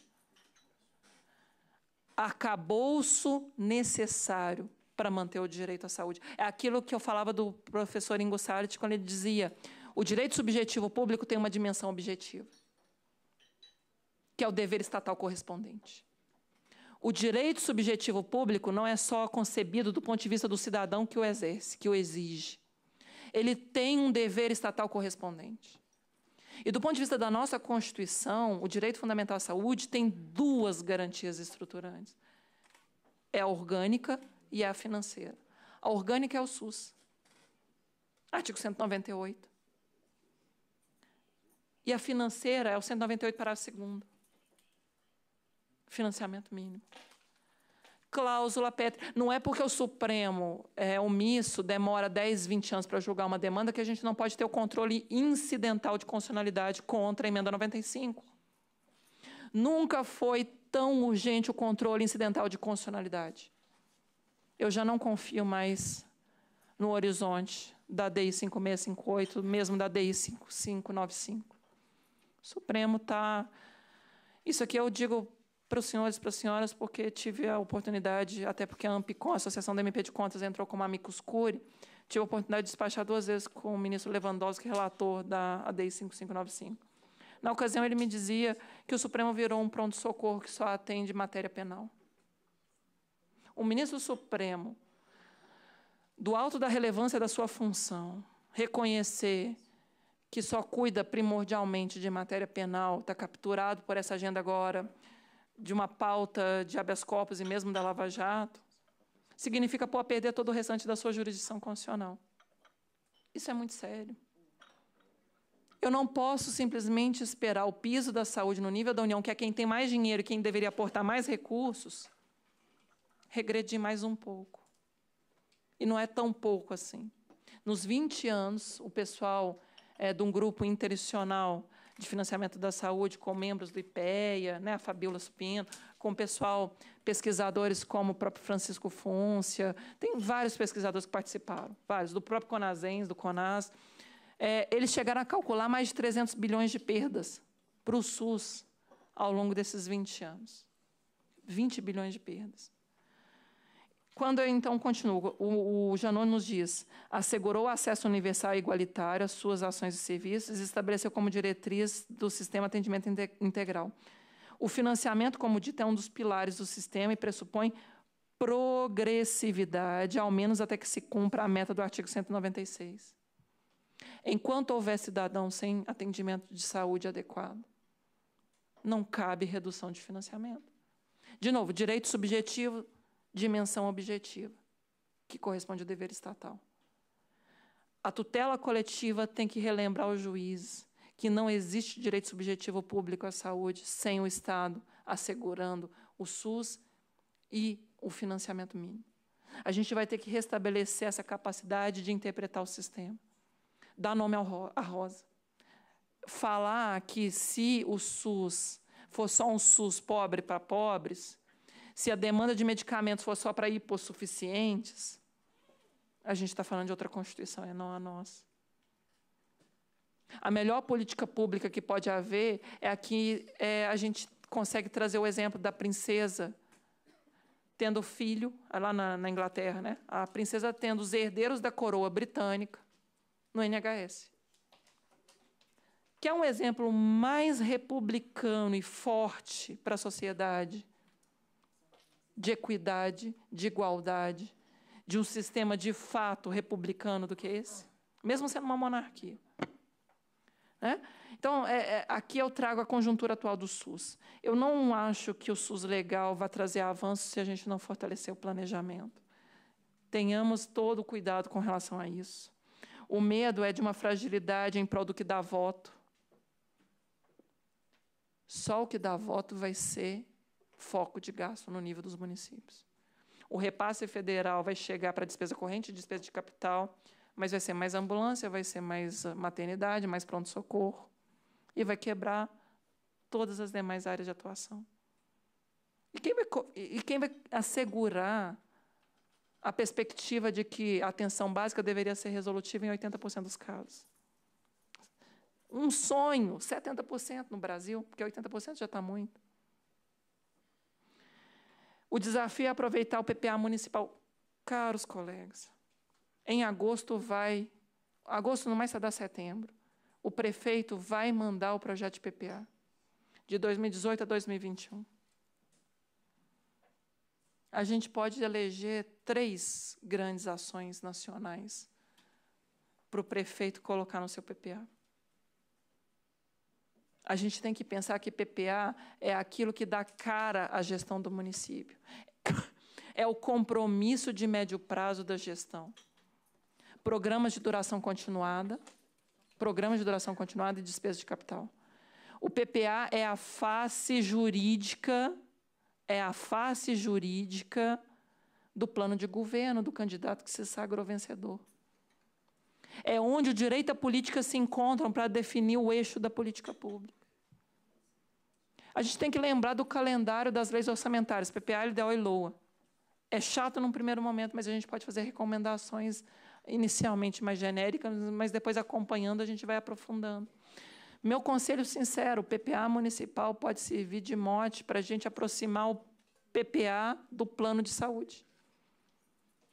Eu recomendo, eu peço, mais do que recomendo, eu peço, eu, eu sinceramente e humildemente peço, orientem a área de fazenda e planejamento a aprovar, do ponto de vista do artigo 74 da Constituição, porque é disso que se trata, o 74 fala do controle interno.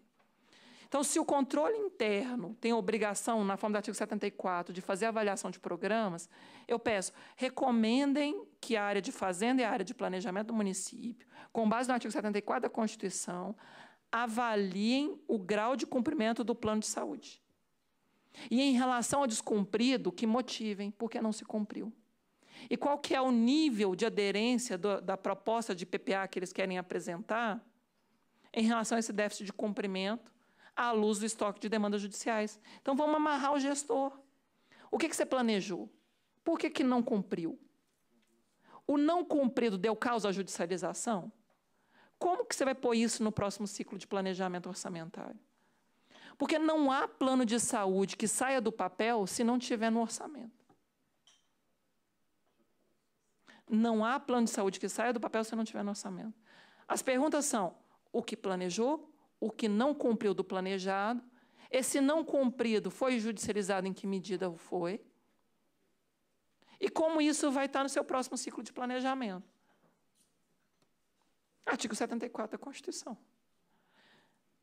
O planejado indica aquela leitura das prioridades. Se está constando de planejamento, se o Conselho Municipal de Saúde está apontando e o gestor não absorve aquilo como obrigação dele, nós estamos no reino da arbitrariedade, não é da discricionariedade, não, é da arbitrariedade na gestão dos recursos escassos. E tem que bater também no nível dos estados. Não é porque esse ano não tem PPA estadual, mas a gente tem que acompanhar o orçamento. E o orçamento é enviado sempre em agosto. A LOA, Projeto de Lei Orçamentária Anual. O que planejou, não executou, em que medida o não executado corresponde ao judicializado, e como é que você vai absorver isso para o próximo ciclo? À luz do plano setorial da saúde. O seu orçamento dialoga com o seu plano da saúde? Por que a distância? A gente tem que começar a testar. Por que, que o gestor não cumpre o planejamento da saúde? E não sou eu que estou falando, não, é o artigo 36 da Lei 8080. Eu estou falando de obviedades para os senhores e para as senhoras. Os colegas sabem muito mais dessa matéria do que eu. Mas o artigo 36 da Lei 8080 é o nosso eixo. A má qualidade do dinheiro, da aplicação do dinheiro público, é porque a gente não se ocupa de exigir que o planejamento seja o eixo do, da execução. Me, me, permitam falar de uma coisa óbvia também. Gente, o que, que a execução orçamentária é, se não uma série de atos administrativos controláveis na forma, inclusive, da lei de ação popular? O decreto de contingenciamento, ato administrativo. Empenho, liquidação, pagamento, ato administrativo. Remanejamentos, né? créditos suplementares, ato administrativo.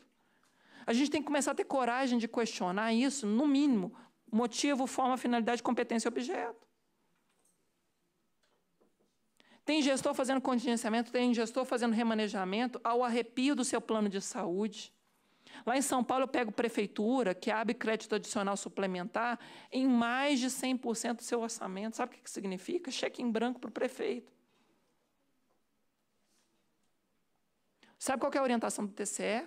Que só se aceite a abertura de crédito adicional suplementar no limite da inflação do período, porque é o que significa a oscilação. A gente está dando cheque em branco para prefeito fazer o que bem entende da política pública de saúde, quando não obriga que o planejamento orçamentário seja aderente ao planejamento setorial. Crédito adicional suplementar não é só para atender os currais dos, dos vereadores, não. É para o desvio do dinheiro. Me desculpem. Aquela história de pagar por estimativa OS, aqueles 15% que ele pode receber 100%. Tem escândalo aqui em Goiás, que os colegas de patrimônio público já me mostraram alguns dados, de que a companhia de, de abastecimento de esgoto, né, Saneago, repassou dinheiro para a OS de saúde para lavagem de dinheiro à OS, porque eu não sei quanto de serviço presta, eu não sei quanto custa, se eu não tenho quantitativo de serviços real, e se eu não sei o preço, pode muito bem ser usado para lavagem de dinheiro. Essa distorção de custo e resultado induz, sim, que a área da saúde seja levada para uma esfera de improbidade administrativa, sem dúvida. E como é que você reduz a discricionariedade do gestor? Obrigando a cumprir o planejamento. Gente, pacta sunt servanda. O planejamento do gestor deve, no mínimo, obrigá-lo a motivar porque não cumpriu. Suporta o planejamento que fizeste. Eu queria que esse brocado ficasse bem firme na mente de todos, de todas. Suporta o planejamento que fizeste. O direito administrativo fez uma revolução quando o professor Henrique, é, Eli Lopes Meirelles trouxe da doutrina italiana a dimensão de que nem tudo que é legal é moral. Olha que frase simples. Porque o nosso judiciário só queria controlar a legalidade. E quando ele fala que nem tudo que é legal é moral, e na noção de moralidade ele embute o dever de boa gestão, e boa gestão não significa apenas a honestidade em sentido estrito, significa também eficiência, finalidade, A gente precisa voltar na década de 70 do direito administrativo brasileiro para colonizar o direito financeiro, para torná-lo aderente à Constituição, aderente aos ditames do Plano Setorial da Saúde. A gente deixa correr solto o dinheiro porque a gente tem dificuldade de dialogar com o contador. A gente não vai falar na mesma linguagem do contador, a gente vai falar do direito, porque é direito. Se desborda do planejamento e não motiva, ato nulo. Vamos começar a falar pela lei de ação popular. É por aí que a gente começa a enfrentar essa inconsistência, é, é, essa geleia do gasto em saúde. Né? É, a questão da própria lei complementar 141, lá também fala claramente, inclusive do ponto de vista do caráter vinculante do planejamento setorial para o planejamento orçamentário. Olha o que, o artigo 30 nos diz da lei 141, da lei complementar. O PPA, LDO e LOA têm que ter aderência a definição daquilo que for é, fixado pelo planejamento setorial da saúde. PPA, LDO e LOA não podem ter nada que não esteja definido no planejamento da saúde. Minha hipótese: 50 a 60% da definição da LOA, da LDO e do PPA sequer foi previsto anteriormente no planejamento da saúde. Fazem o planejamento da saúde para inglês ver e não repercutem depois na questão orçamentária. E ninguém cobra, porque ninguém cobra não é vinculante. Norma sem sanção. O, o, o, dinheiro da saúde é realmente muito, muito suscetível de risco. Aqui a questão histórica, todo mundo já está bem é, claro em relação a ela. O piso da saúde já foi de 30% do orçamento de seguridade social. Se fosse em termos atuais, seria 280 bilhões de reais, ao invés de 115 bilhões para esse ano no nível da União. A DRU eu já falei. A CPMF é o nosso conflito tributário. É, a segregação do custeio da Previdência dentro do Orçamento de Seguridade também foi um problema. A emenda 29, a Lei Complementar 141, levou sete anos para ser editada. Outro dado interessante: tinha dotação autorizada, mas o governo não queria gastar. Foram 140 bilhões de reais. A emenda 86, a sua regressividade. Aquilo que eu falava, trajetória errática, tudo isso aqui é argumento de defesa. Nossa, se a gente vai entrar com tutela coletiva, tudo isso aqui, essa série histórica de, de idas e vindas, prova a má-fé do governo. Tudo isso prova a má-fé do governo. Greve de prefeituras em função do atraso nos repasses. A questão da LDO no nível da União, a própria OAB chegou a fazer a, a, a, a saúde na UTI. Eu chamo a atenção esse item do meio aqui. O governo abriu uma linha de crédito consignado para os fornecedores do SUS. Por que a gente nunca impugnou isso? Sério, por que nós ainda não ingressamos em juízo na Justiça Estadual e mesmo na Justiça Federal? Que história é essa de aceitar os atrasos que obrigam os nossos fornecedores a buscar o antecipa SUS? Antecipação de recebíveis do SUS. Porque o juro que eles estão pagando significa menos dinheiro para a saúde. Vejam, eu aceitar o governo não fazer o repasse no tempo adequado e o fornecedor pagar juro de 10%, 15%, não sei, eu estou chutando, mas que, que seja um juro né, de mercado para isso, crédito consignado, quantos leitos a menos? Vamos quantificar quanto de juro todos os hospitais filantrópicos, todos os hospitais credenciados tiveram que pagar e o quanto de leito a menos eles ofertaram em decorrência disso. Responsabilidade objetiva, artigo 37, parágrafo 6. Eu não vou imputar esse, essa menor quantidade de serviços aos fornecedores que deixaram de receber tempestivamente. Mas ao governo federal, que não fez os repasses. A greve das prefeituras era por causa do contingenciamento dos repasses. Está aí uma linha de questionamento que começa a constranger também o problema. Lá no Rio Grande do Sul, uma judicialização interessante, os hospitais filantrópicos pediram um bloqueio exatamente para fazer os repasses tempestivos. É uma ação inteligente, dentro da linha do décimo, do prazo, do tempo, do dinheiro. Não é só a quantidade, é também o tempo do dinheiro. A gente não tem direito de receber até o quinto dia útil, em tese. Né? Assim, por que não o SUS também? A gente tem que começar a enfrentar isso. Na Lei 866, a gente tem o parâmetro de que o fornecedor só é obrigado a suportar até 90 dias. Depois ele consegue ter a rescisão. Unilateral, o fornecedor pode, unilateral não no sentido de um poder do né, um, uma competência do poder público, mas o, o particular tem um justo motivo para rescindir o contrato se ele for obrigado a suportar mais de 90 dias de atraso. Ministro Celso de Mello, gente, a DPF 45 de 2004, 13 anos atrás, era sobre inclusão de despesas financeiras do Ministério da Saúde no piso da saúde. Lembram-se? A DPF 45 é sobre o dinheiro da saúde. Quais sugestões práticas que lhes trago? O tempo já está curto, já me avisaram. É, falei muito, eu, eu não fiquei é, passando ponto por ponto para saneamento de dúvidas da recomendação, mas indiretamente quis enfrentar os vários aspectos. É, a gente tem que tentar controlar o gasto mínimo material. A gente tem que fortalecer a pactuação federativa do SUS, da CIT, da CIB. A gente tem que estabelecer que o Conselho de Saúde e as suas ressalvas são vinculantes para o planejamento. A gente tem que proteger esse planejamento na legislação orçamentária. Mas como? Algumas ideias possíveis de a gente já começar a enfrentar.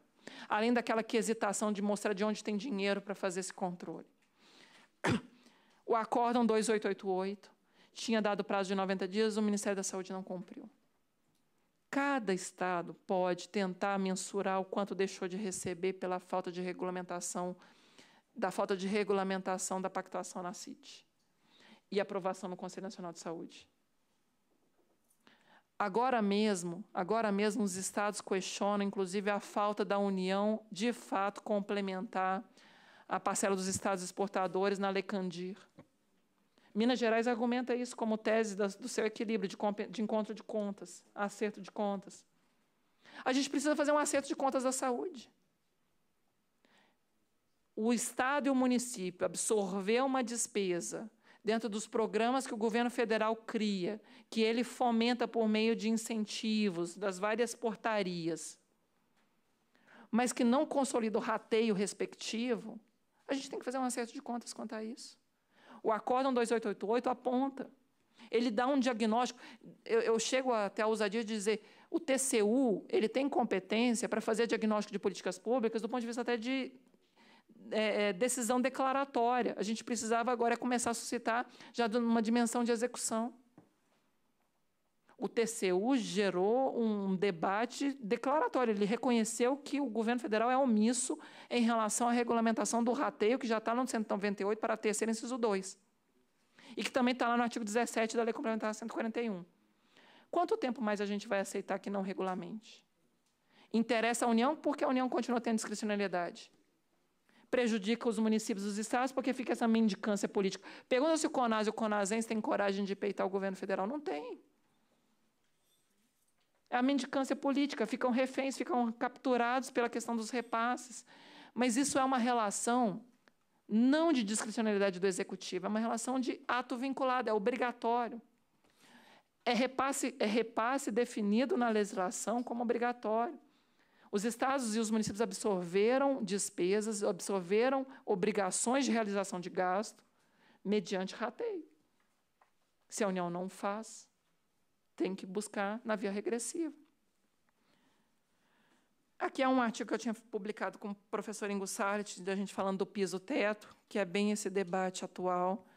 Tratar o direito à saúde como se fosse uma questão de só menos importância, é, as despesas financeiras ganham a centralidade do orçamento da União, as despesas primárias é, são, são, na verdade, um estado de sítio fiscal. É um debate é, torpe esse. Para que, que existe o orçamento da Seguridade Social? Para que, que existe contribuição social? Eu vou lembrar, o dinheiro da saúde não é só o piso. O dinheiro da saúde é também o orçamento da Seguridade Social. A saúde goza do gasto mínimo e também da fonte vinculada de receita. E a gente não testa essa tese no judiciário. O dinheiro da saúde não só é o piso, como também a fonte vinculada de receita das contribuições sociais. A gente precisa testar essas teses no judiciário. É, é bem a questão dialética né, hegeliana. Se nós não fizermos antítese, a síntese que vai ficar é a síntese do governo de que não tem dinheiro para o SUS Quem constrói a relação processual não é só o governo, somos nós também, até para obrigar o juiz a ser equidistante, um pouco mais neutro. Os juízes estão ouvindo apenas o argumento de que não tem dinheiro, de que é uma crise fiscal, que não tem escapatória. Temos que fazer antítese. Sim, há outras formas de custear. Há outras opções discricionárias, na verdade arbitrárias, de gasto e de renúncias fiscais, que merecem nosso enfrentamento. O chamamento ali, de, ainda que alguns, algumas instâncias sejam refratárias, ainda que a gente tenha uma dificuldade imensa no judiciário que não tem a compreensão do orçamento, a gente precisa fazer o chamamento à lide e provocar o direito de regresso. Trouxe precedentes da Justiça Federal já em segunda instância, sobretudo no Rio de Janeiro, que aceita o direito de regresso de estados e municípios daquilo que pagaram sozinhos, sobretudo dos procedimentos e medicamentos ainda não incluídos nas listas oficiais e, portanto, não tendo rateio prévio. Ideal seria que a gente conseguisse propor aos prefeitos, aos gestores, o levantamento do que pagaram sozinhos e que não estavam nas listas, nas listas oficiais. Fazer a demanda de direito de regresso. Tendo precedentes já da Justiça Federal, por que não? A gente tem que começar a fazer um debate de a crise fiscal, do modo como está hoje, não pode ser simplesmente sobrecarregar mais um pouco o município. Ele não tem de onde tirar dinheiro. Não adianta mais demandas de medicamentos contra os municípios. Se não tem rateio prévio, é porque a União não incorporou. O direito de regresso à Justiça Federal já tem aceito. No mínimo de um terço. Um terço da União, um terço do Estado. A gente começar a gerar, de fato, uma compreensão do problema. A gente dá nome ao problema no sentido macro. Fixar a justa interpretação do artigo 30, inciso 7 da Constituição, que compete ao município prestar saúde, mas mediante cooperação técnica e financeira da União e dos Estados. O que está ruindo? É só o dinheiro ou é o SUS na sua governança federativa? É o SUS. O que está ruindo não é só a falta do dinheiro. Eu falava com o Roberto Yunes do Banco Mundial, ele dizia, Hélida, tem estudos no Banco Mundial que dizem que é impossível ser eficiente com pouco dinheiro. Sério, num cenário de tão pouco dinheiro, em algumas políticas públicas, a ineficiência é decorrência da falta do recurso, até para eu capacitar meu pessoal, até para eu informatizar meu quadro de equipamentos de, de, de acompanhamento. A falta de dinheiro induz ineficiência. A falta de dinheiro extrema. Não é que só ter mais dinheiro gera ineficiência. O, o inverso também gera. A ineficiência não é só de ter dinheiro sobrando. De ter dinheiro de menos também é ineficiente. E, e o Roberto é economista, ele trazia esse estudo. É interessante a gente pensar nisso. Municípios são ineficientes por causa da falta de dinheiro também, não só. Aqui é um dos precedentes a que me referi. Já em sede de apelação, é, o município de Três Rios, no Rio de Janeiro, pre pretendeu, é, não sei se eu vou conseguir pôr luz, eu queria pôr luz aqui para ver ali, não sei se não vai dar. Bom, o município de Três Rios pediu é, direito de regresso e a Justiça Federal configurou, sim, o direito de regresso. Né? Olha aqui, deixa eu ver se eu acho o trecho. Vamos lá. Bom, esse município conseguiu um texto correspondente. O acórdão está aí, depois vocês peguem a fundamentação. O Marcos Abraham, que é o desembargador relator, ele é professor de Direito Financeiro da UERJ. Então, ele tem vários precedentes, ele tem clareza do problema. As decisões dele podem ser invocadas na Justiça Federal dos outros estados. Por que não? direito de regresso daquilo que não tem rateio prévio, porque não é incluído nas listas oficiais. Daquilo que os municípios e os estados pagaram sozinhos nos últimos cinco anos. Não adianta bater só nos pequenos, é injusto. Me, me permitam citar até a eu mineira, né, conterrânea do, do Gilmar. O Janot gosta de citar essa frase, mas ela é realmente a gente cita muito lá em Minas. Pau que dá em Chico tem que dar em Francisco. Responsabilidade solidária não é só para o município absorver tudo. E, e, a, e a, a, via de mão dupla? E a rota inversa? Quando é que a responsabilidade solidária também é contra a União? Suas omissões. Não incorpora, não homologa, né? não, não promove a inserção nas listas oficiais. Desculpa. Eu queria só achar o trecho, mas agora, lendo rápido com o tempo. O caso dos autos trata da possibilidade de regresso da cota parte do valor que seria no, no item 3 que seria correspondente à União no que tange a condenação do município de Três Rios no fornecimento de medicamentos não usuais a determinado paciente por decisão judicial. Caracterizada a responsabilidade solidária entre os entes, a condenação do município a fornecer medicamento não usual, não previsto no orçamento, a despesa extraordinária deve ser repartida, eis que não inclusa nos repasses normais de verbas ao município. É a parte final dessa emenda ali, é a parte final tem jurisprudência favorável ao direito de regresso daquilo não incorporado nas leis oficiais. A gente tem que multiplicar essa jurisprudência, até para onerar o Ministério da Saúde com a sua inércia, com a sua omissão. Não nos custa orientar os gestores municipais a buscar isso. Em relação né, ao estoque dos últimos cinco anos do que pagaram sozinhos. Já é uma iniciativa até para aumentar o gasto federal de 2017, para que o piso de 2017 não fique tão congelado abaixo daquilo que a população precisa. A gente precisa obrigar a União a gastar mais em 2017, porque vai ser congelado para 20 anos. Vai ser só correção monetária para os próximos 20 anos. Contenção de dano. Bom, essa é uma decisão de 2014. Tem outras, essa é só uma ilustrativa, mas é um precedente bacana para a gente explorar a judicialização da saúde, mesmo em medicamentos, de forma mais inteligente e sistêmica fazer o debate com o STJ nessa linha. Pensar o financiamento estrutural do SUS e não apenas a coisa isolada do hipossuficiente. Essa coisa do hipossuficiente é uma tragédia para o SUS. Eu vou repetir: SUS pobre para pobres. A gente tem que apresentar alternativa melhor para a STJ, alternativa melhor para a STF. Aqui é um outro precedente também da Justiça Federal do Rio de Janeiro, em que conseguimos, na liminar, uma ação civil pública na Justiça Federal, a gente conseguiu na liminar o não contingenciamento do dinheiro da saúde. A colega Roberta Trajano, do MPF, ingressou. Aqui, ó, defira o pedido de antecipação de tutela, determinando a União, que por meio do Ministério da Saúde, do Ministério da Fazenda, que se abstenha de contingenciar as verbas destinadas, contingenciar do ponto de vista de inserir naquele decreto de programação financeira, atrasando os repasses. É, do Serviço Público de Saúde, do anexo do decreto de programação financeira tal né, de todos os subsequentes aqui, ó, é, e similares dispositivos das leis de diretrizes orçamentárias subsequentes. A gente conseguiu isso em 2015, logo quando o, o, o Rio decretou situação de calamidade na saúde. Bom, o que, que eu também continuo a propor já rapidamente, porque eu sei que meu tempo está escoado. Exigir critérios de rateio. Esses critérios de rateio estão lá no artigo 17 da Lei Complementar 141, no artigo 198, para o terceiro inciso 2 da Constituição, e que, na verdade, são as pactuações na CIT e na CIB. Isso obriga. Ah, mas e se o pactuado na CIT for superior ao piso? Olha a pergunta sobre o gasto mínimo material. A pactuação é superior aos 15% da receita corrente líquida da União. Ora, se ela pactuou, ela se obrigou. Cumpra acima do piso, porque piso não é teto. Deu para entender por que é importante entender o gasto mínimo material, cumprimento de obrigações constitucionais e legais de fazer? Como é que faz uma pactuação, gera compromissos trilaterais e, na hora de fazer o repasse do dinheiro, diz que deu 15%, não bota mais nenhum centavo? Se, se foi pactuado, é porque é importante. É preciso mudar o fluxo da judicialização, que eu já falei. É, a falta de sanções para a União, infelizmente. Vedação de retrocesso não é só extinção ou redução. É também estagnação imotivada.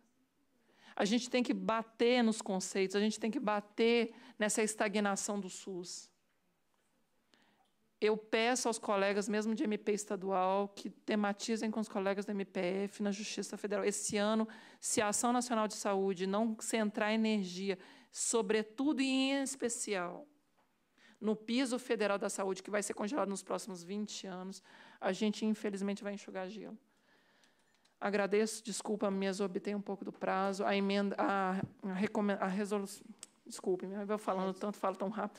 A recomendação 48, ela é, traz exemplos práticos de atuação nossa. Vários dos aspectos eu abordei, ainda que de forma é, é, paralela a um tema já trazido aqui. Mas se eu ficasse lendo a recomendação e comentando isso por a título de descrição, a título de comentários a uma recomendação, a gente não teria essa consciência do panorama. Eu priorizo nesse momento o senso de urgência que todos devemos ter. Obrigada mais uma vez. Mais uma vez me sinto em casa aqui. Obrigada. Muito obrigada.